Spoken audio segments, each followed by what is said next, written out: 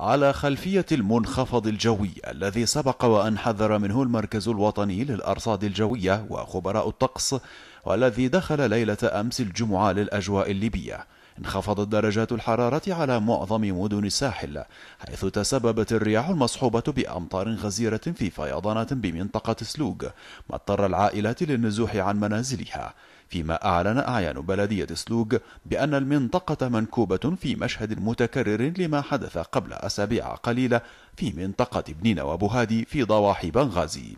الموجة الحالية تستمر حتى مساء الأحد ما يستوجب على كافة الجهات المسؤولة أخذ الاحتياطات اللازمة بسبب الهطول المتزايد للأمطار ما يعني ارتفاع منسوب المياه الجوفية وهو ما سيؤدي بدوره لفيضانات محلية في عدة مناطق مختلفة.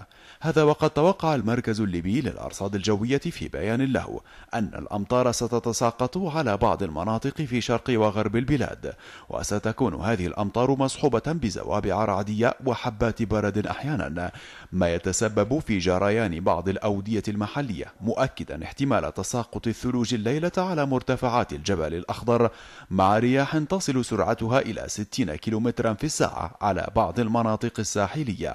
وعلى خلفية الأجواء الماطرة وموجة البرد التي أسماها بعض الخبراء بسيبيريا أعلن وكيل وزارة التعليم في الحكومة المؤقتة أن يومي الأحد والاثنين عطلة رسمية لطلبة التعليم الأساسي والمتوسط في بلدية المرج.